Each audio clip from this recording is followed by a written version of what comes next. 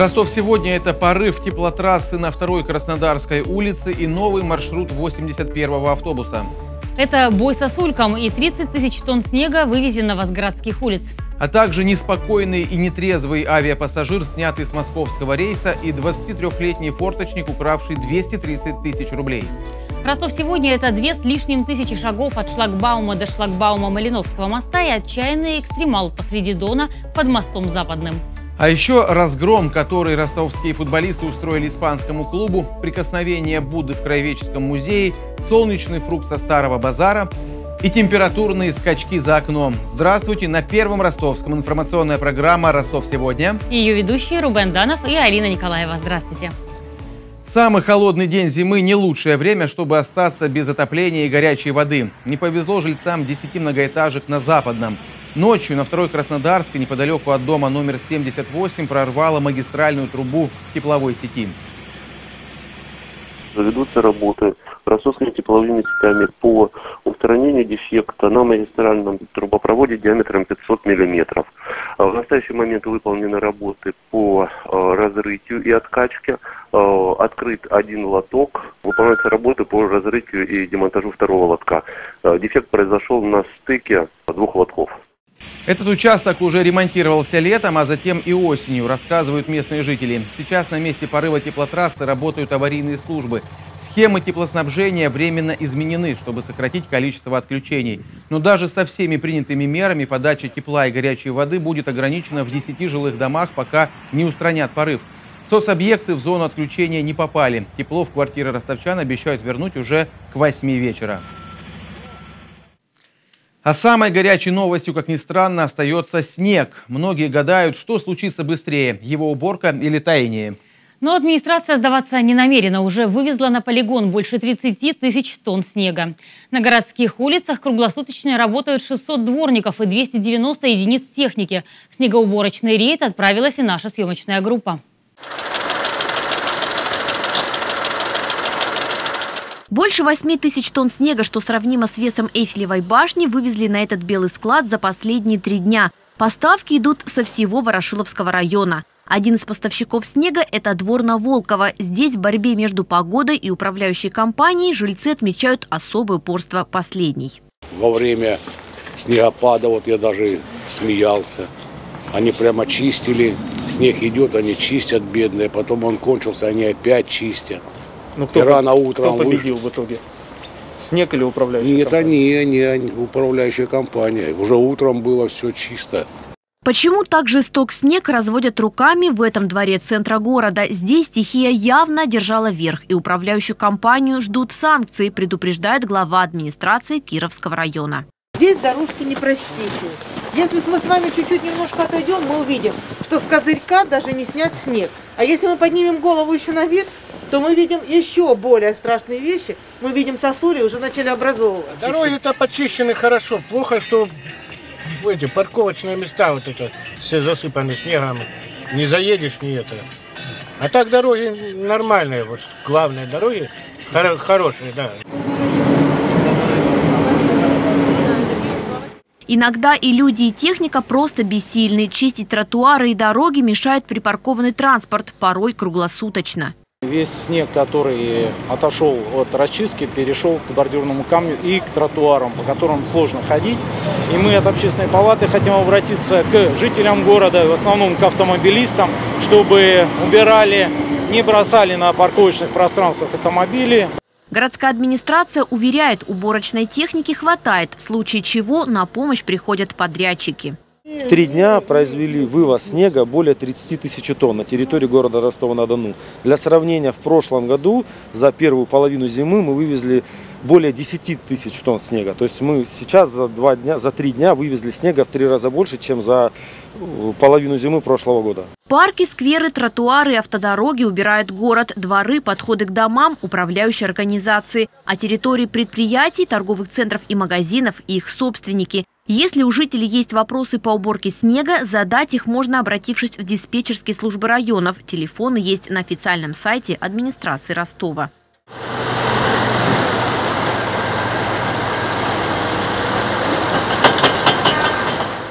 Юлия Сурикова, Артем Тарасов, Юрий Санкин. Первый. Ростовский. Обещанному синоптиками скорому потеплению коммунальщики совсем не рады. Все дело в сосульках, которыми уже обвешаны ростовские крыши. Рабочим приходится бороться с наледью вручную. Причем начинают они этим заниматься накануне резкой смены погоды. Завтра, я думаю, будет намного напряженнее, потому что ожидается резкое потепление, ночью заморозки. Сегодня как бы это только ну, первый этап, скажем так. Проверка готовности служб, но это проводится постоянно, постоянной основе. Тем временем врачи и спасатели напоминают о дистанции и просят держаться подальше от балконов и крыш. Застолье длиной почти тысячу километров. Это когда начал пить еще в Москве, а закончил только над Ростовом. Пока самолет набирал высоту, авиапассажир ночного рейса набрался сам. Так что выходить из самолета в аэропорту Платов ему помогали полицейские. Также в сводке ростовского городового сегодня форточник, обчистивший квартиру ростовчанки, и несчастный случай при очистке крыши пятиэтажки от снега. Татьяна Цепелева расскажет подробнее.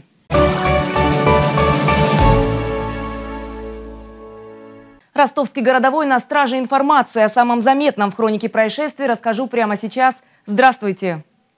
В аэропорту Платов с борта самолета сняли очередного нарушителя спокойствия. Мужчина, видимо, настолько боится летать, что решил от Москвы до Ростова уйти в небытие и распивал спиртное. Просьбы членов экипажа успокоиться и перестать употреблять алкоголь на мужчину не повлияли. Зато появившиеся на борту самолета полицейские оказались более убедительными. Нарушителем спокойствия оказался 30-летний житель Нефтеюганска. Теперь вместо прогулок по Ростову-на-Дону ему грозит до 15 суток ареста.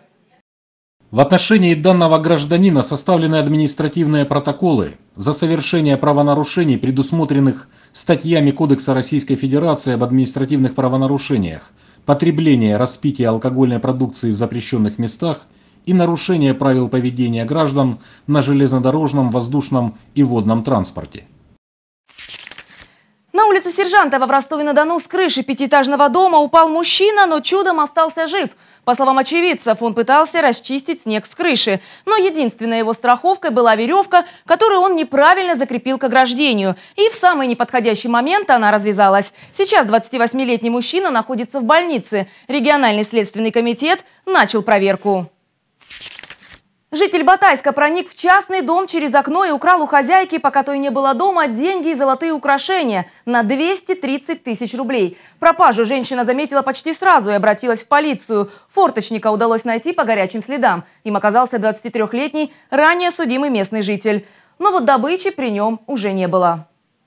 Украшения он сдал в ломбард, а денежные средства потратил на личные нужды. В отношении задержанного возбуждено уголовное дело по признакам преступления, предусмотренного пунктом А части 3 статьи 158 Уголовного кодекса Российской Федерации «Кража».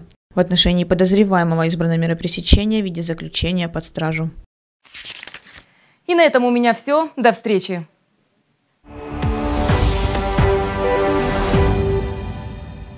За последние сутки в регионе подтверждены 390 случаев заболевания коронавирусом. 142 положительных теста приходится на Ростов. В Таганроге 13, 11 в Новошахтинске. Каждый пятый инфицированный из группы риска 65+.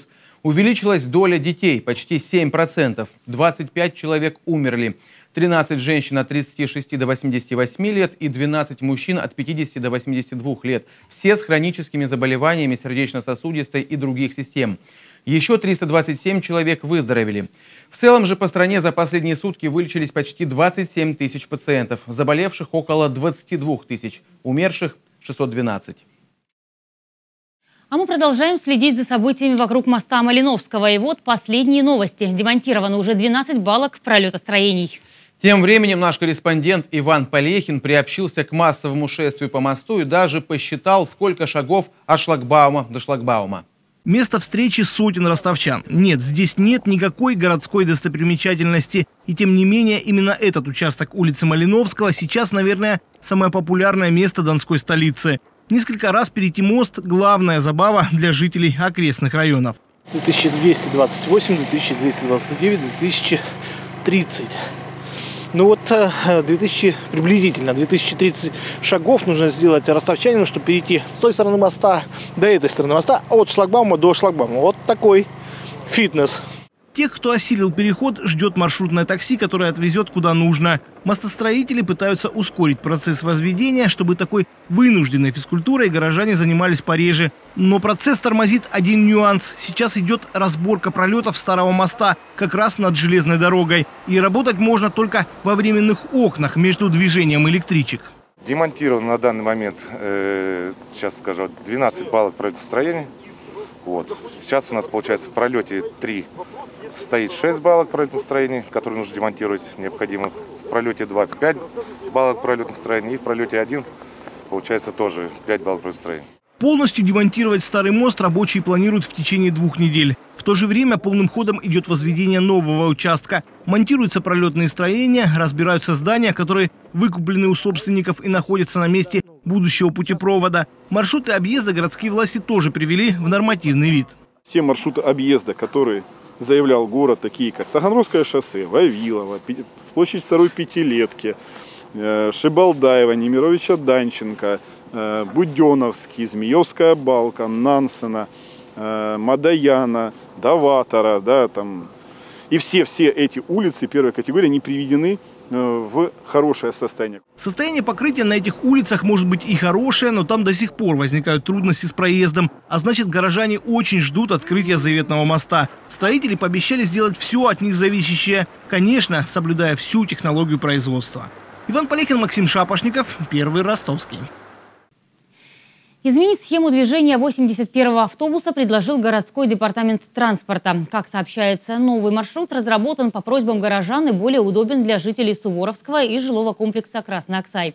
Но чтобы 81-й автобус начал ездить по-новому, решение должны поддержать горожане. На сервисе «Активный ростовчанин» уже идет голосование. Сейчас автобус ходит по улице Нансена между проспектами Михаила Нагибина и Театральным. Если примут новую схему, то маршрут пройдет по Текучево, ДЖК Красный Оксай и обратно по Красноармейской на Суворовский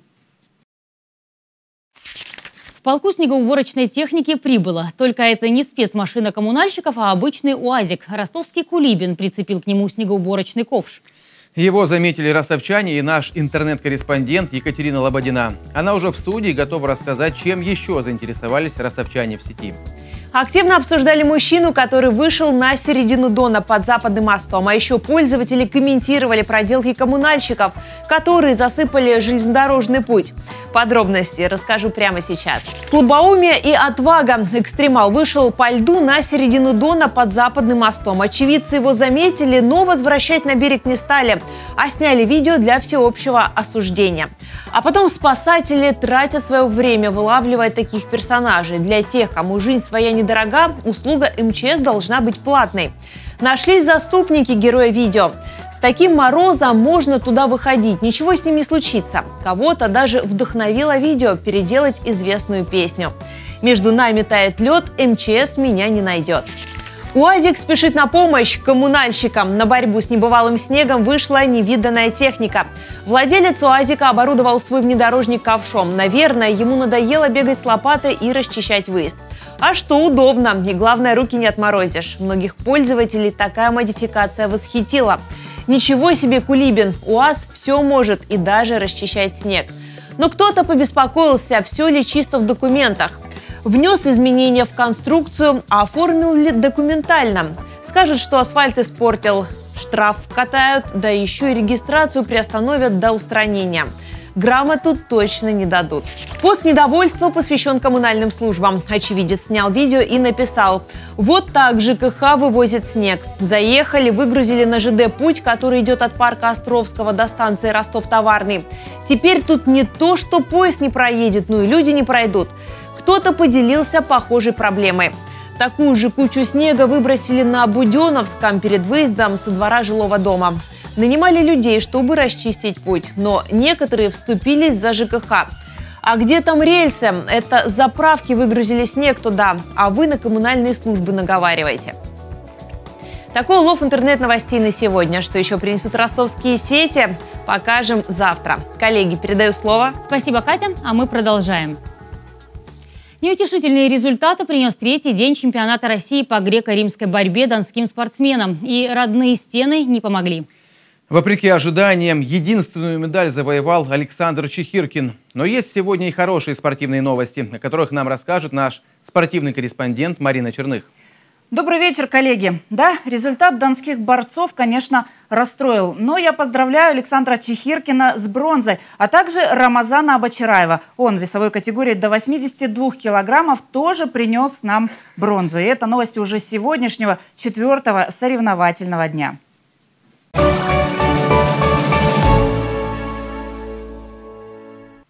Что касается других видов спорта, порадовали ростовчан футболисты, сыгравшие накануне первый контрольный матч.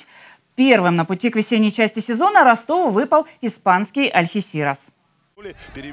Клуб не особо именитый, выступающий во втором по значимости испанском дивизионе практически всю свою историю. В нем нет ни одного известного футболиста, кроме, пожалуй, главного тренера Сальвы Бальеста, в прошлом игрока многих громких испанских клубов. Так что в исходе встречи, в принципе, мало кто сомневался. Ростов сразу завладел преимуществом. Испанцы предпринимали попытки прорвать оборону, но нашу команду выручал Рудаков. А вот вратарь соперника на 26-й минуте своих не спас. После передачи Тугарева Алмквист реализовал выход один на один. На второй тайм Валерий Карпин полностью обновляет состав. И началось. Первый гол залетает в ворота испанцев на 50-й минуте. Гигович уверенно отправляет мяч в дальний угол. Альхисирас отвечает после углового спустя 11 минут. Но это все, что им удалось. Полос, Байрамян, Обухов, три мяча еще залетает в ворота соперника. И как итог победа 5-1. Первый контрольный матч и вообще первый матч года для Ростова сложился более чем удачно. Ждем следующего. Он пройдет 24 января против Эстерсунда. Никто не сомневался и в победе гандбольного Ростов-Дона над Майкопским Агу-Адыифом. Вопрос был только в том, каким будет счет. В Майкоп не поехали Маиса Писоа, которая продолжает восстанавливаться после травмы, Анна Вяхерева, все еще находящаяся в Норвегии, и приболевшая Галина Габисова. Встреча проходила при абсолютно пустых трибунах, так что довольствоваться армия донских болельщиков могла только трансляцией с матча. Начался он с активных атак наших девушек, которые и распечатали ворота на второй минуте. Но хозяйки быстро сравнялись и даже вышли вперед. И держались лидерами вплоть до шестой минуты. После чего лидерство пришлось отдать своим более опытным соперницам. Ростов-Дон постепенно набирает обороты и за последние 10 минут времени тайма не дают хозяйкам забросить ни одного мяча. На перерыв наши девушки уходят с двойным преимуществом 16-8.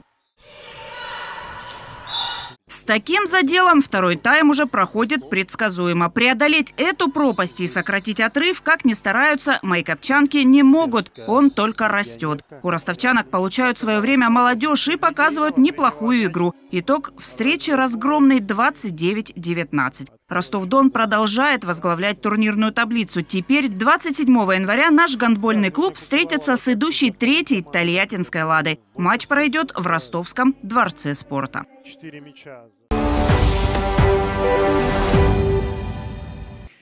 Статуи Будды, ритуальные чаши для подношений, маски и украшения, скульптуры, прошедшие обряд освящения ламами.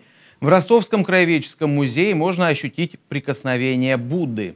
Так назвали выставку, собранную из частных коллекций. Историю буддийского искусства из Непала и Тибета познала наш культурный обозреватель Галина Белоусова.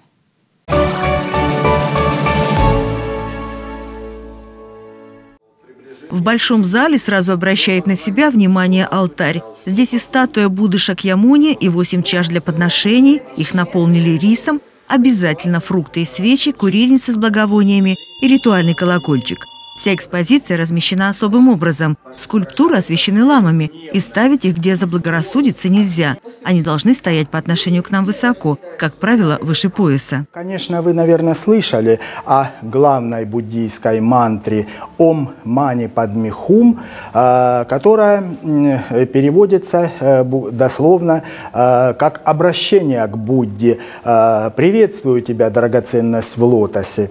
И ну почему в лотосе? Легенда гласит, что когда родился Будда, то там, где он ступал, вырастали лотосы. А эта раковина – одно из сокровищ буддизма. Ее используют как музыкальный инструмент, можно трубить. Звук означает распространение учения Будды по всему миру. После Будды э, принято считать э, э, вот еще одну сущность, э, главенствующую в буддизме, это э, женская сущность. Здесь представлены э, две э, скульптуры. Это зеленая тара и белая. Зеленая тара стремится на помощь страждущим. Ее всегда изображают спускающейся с лотоса правой ногой. Белая тара всевидящая, и ее узнаем сразу, потому что у нее семь глаз. А вот и символы буддизма, их восемь. Это зонтик, золотые рыбы, ваза с драгоценностями, раковина, о которой мы уже говорили. Далее э, бесконечный узел и лотос, символ чистоты, знамя и обособленно стоит э, чуть далее колесо сансары, один из главных э, символов э, буддизма. И еще обратим внимание на следующее. Буддисты развешивают молитвенные флажки с мантрами, благими пожеланиями. Считается, что когда их развивает ветер, он разносит добрые слова по всему миру. Каждый цвет символизирует одну из стихий. Землю желтый, воду зеленый, огонь красный, воздух и ветер белый, а небо синий. Ощутить прикосновение Будды в Краеведческом музее можно будет до 21 февраля. Галина Белоусова, Сергей Вишняков, Первый Ростовский. Сегодня во всем мире отмечают Международный день объятий. Кажется, это то, чего нам в последний год не хватает больше всего, ведь при соблюдении дистанции в полтора метра обниматься, мягко говоря, сложно. А как часто ростовчане забывают об этом правиле и все же обнимают своих ближних? Мы спросили у них самих.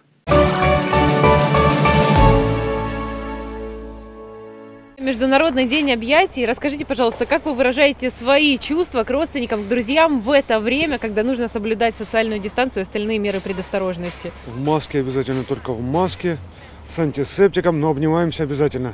Без объятий никак. Нужно обязательно обниматься. В зависимости от того, кто они. Студентам один подход, там, тем женой, если на этом самом, на карантине оба, то другой подход. То есть в зависимости от ситуации, кто где вращается. Они вызывают определенные эмоции. Не зря же мы животных обжима, прижимаем к себе. И люди, это, это инстинкт такой животный. Обнимаюсь, как и раньше, и без масок. Не боитесь? Ну, своих-то я не боюсь. Ну, а так прививку надо сделать, потом будет обниматься легче. Я немножко уже и переболела вообще. Ну, как я выражаю свою любовь близким? Я бабушка, поэтому я им готовлю. Пеку блины, пеку пироги. Я думаю, что... Ну, обнимаемся мы тоже, без маски. Это для чего вообще нужны объятия, по вашему мнению? И нужны ли они в принципе? Нужно вырабатывается окситоцин, повышается настроение, людям хорошо. Испробовано на себе, да? Конечно. Несчастную любовь этот фрукт символизирует в Испании. Кислый европеец продается и на нашем старом базаре. На рынке идет бойкая торговля за любовь покупателей между колоритными фруктами из восточных стран и утонченными испанцами. Мы говорим о лимонах. А подробности у нашего рыночного обозревателя Олеси Слынько.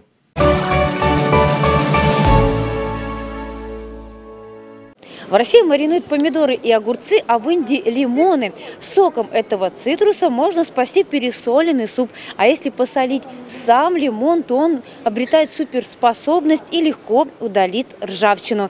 Кстати, лимоны ели еще во время пандемии чумы в среднем веке. И я думаю, с коронавирусом он тоже легко справится. Ну а как выбрать самый полезный лимон, узнаем сегодня на Старом базаре.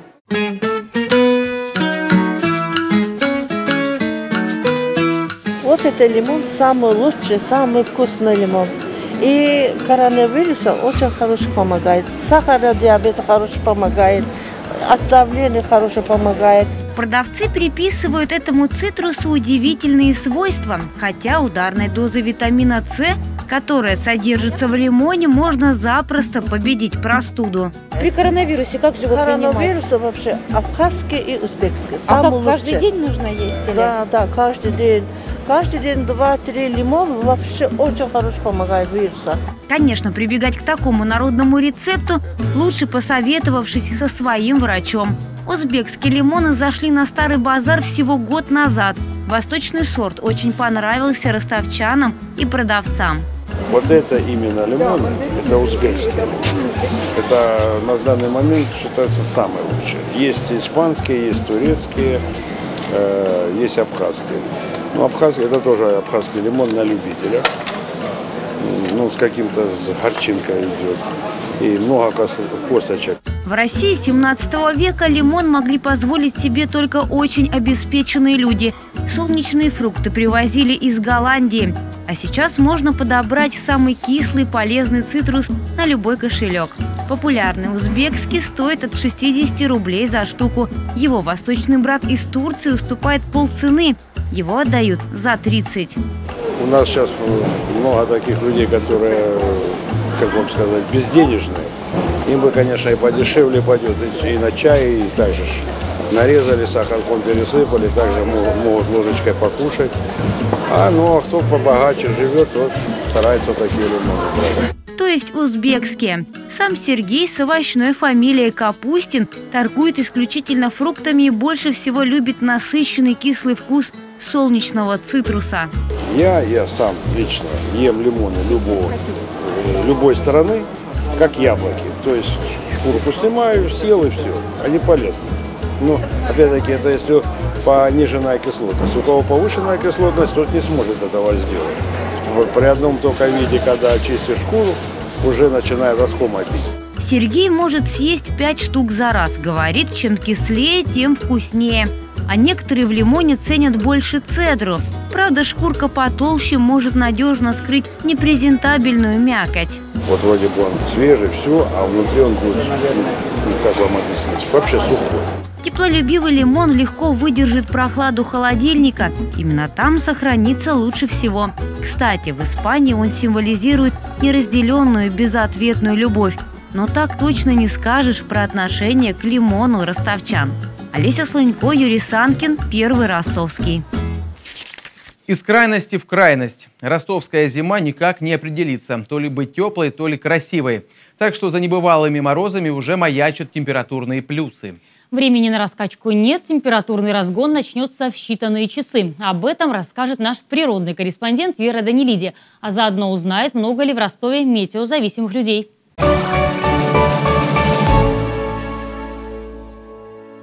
Ростовчане, всем привет! На улице по-прежнему, ох, как морозно. На термометре минус 22 градуса. Ощущается это, как ни странно, точно так же, как минус 22 градуса. Погода уже четвертый день испытывает нас на морозоустойчивость. Мне кажется, мы справляемся, а помогает нам ветер, который разгоняется не сильно. Сегодня всего 2 метра в секунду. Завтра минус 22 градуса превратятся в ноль. Согласитесь, перепад очень серьезный. И метеозависимые люди, скорее всего, почувствуют на себе эти изменения. Кстати, среди ростовчан много метеозависимых людей? Давайте сейчас узнаем.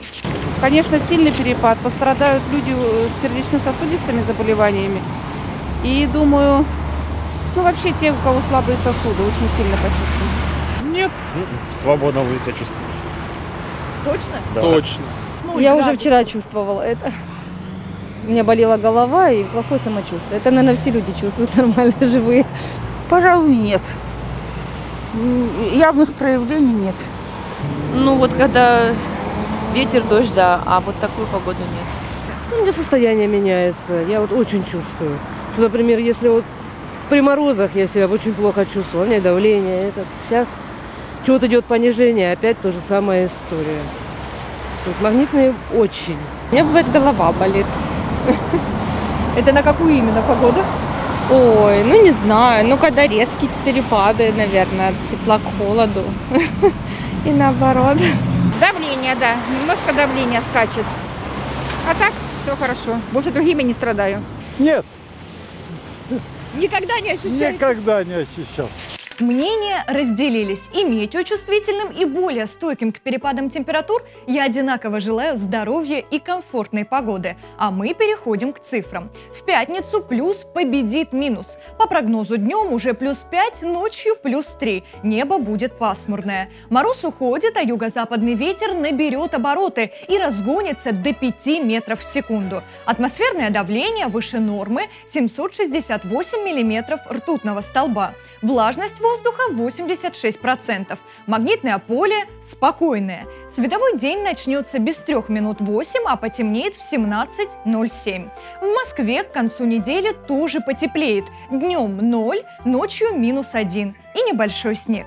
Следите за своим здоровьем, пейте горячий чай и будьте в хорошем настроении. Подготовила прогноз на пятницу я, Вера Данилидия. Пока-пока! Что ж, таким был Ростов сегодня. А каким он будет завтра, смотрите на Первом Ростовском завтра же в 19.00. Сегодня в студии были Алина Николаева и Рубен Данов. Всего доброго. До встречи.